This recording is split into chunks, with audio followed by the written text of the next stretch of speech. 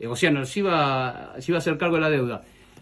Pasa que con estas personas, a mí lo que me revuelve el estómago, que estas personas te dicen en la cara que tenés razón, que te la van a pagar, que esto, que lo otro, y están dos años eh, eh, Pedaleando. pedalea- y te hace un daño, te, te provoca un daño. eh, Sí, yo te vi eh, muy angustiado. Te A provoca vos- un daño emocional. vos y a Natalia. Sí, te provoca un daño emocional.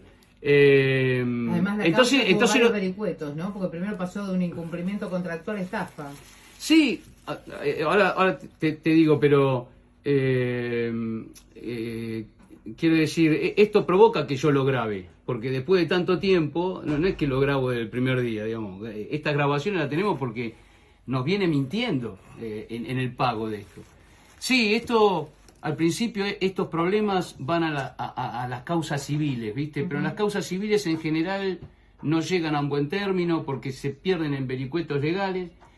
Y el abogado, un abogado que conseguí muy bueno, Emiliano, eh, eh, ya te digo porque el apellido, eh, Coromino- Corominola, Ah, difícil. Ca- Sí, Corominola, Emiliano, pero es un, es un gran abogado porque encontró eh, el, punto de, la presunta estafa. Digo presunta para mí estafa, pero digo presunta para conservar los buenos modales judiciales.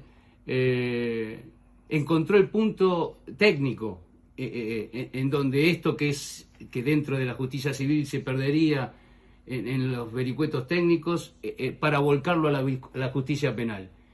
Y lo hizo tan bien que la jueza, y en esto agradezco, pudo notar que hay pruebas para citar a indagatoria penal a, a Martín Pines.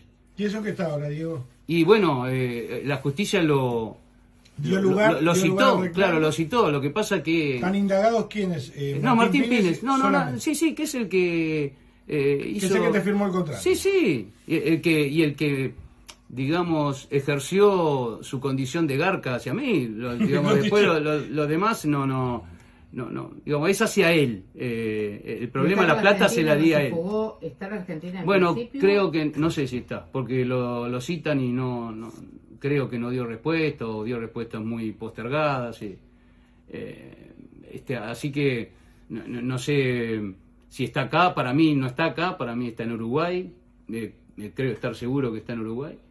Pero igual me siento, viste cuando esto que hablábamos de, de- de la realidad eh, cotidiana, podés canalizarla en las instituciones pertinentes, en este caso en la justicia, eh, eh, me- mejora la, la salud de una persona. Te reconfortado. Y mejora la de. o sea, no me hubiera gustado pasar de nuevo, o no me gustaría pasar de nuevo por esta por estos dos, dos años, tres años de, de- de gran incertidumbre y, y con alguien que. Porque yo no quiero entrar en la justicia, yo trato de, de hablar con esta persona, más este, cuando Martín Pines me decía que yo tenía razón y que me iba a devolver la plata y que él se iba a hacer cargo de la deuda, que el sentido común marcaba este, que era así, el sentido común de justicia. Y yo me di cuenta que en un momento que él me, me- me utilizaba de. como hacen los estafadores, ¿viste? Los simuladores. los- sí, los simuladores en este caso para el mal. Pero como hacen que te dicen en la cara. o- es- y te dejan tranquilo. sin que- Cositorto ahora que, que está diciendo que va a devolver el dinero a los inversores Bueno, y sigue sosteniendo No, igual que había sido un y- negocio maravilloso Claro. y, Y después nos dimos cuenta que él lo que estaba haciendo era dilatando no sé cuánto tiempo, porque plazos. después de dos años eh, prescribe la, la- la- cualquier denuncia La que puedas hacer. Mm. Entonces estaba buscando eso. Todo eso son, este, son aciertos de, de- de- de nuestro abogado Emiliano Corominola, Ahí está. eh, que me gusta nombrarlo porque está haciendo un trabajo extraordinario, a mi criterio. Bueno, Diego, yo te voy a acompañar a vos, a Natalia. Sí, ya Obviamente, sabés que yo te doy una mano y, y bueno, esto está registrado acá en Radio Continental. Sí. Mañana lo va a levantar acá en la web. Ah. Así que bueno, Sí, ojalá que aparezca en las redes también. va a aparecer, sí, sí. quédate tranquilo. Sí. y está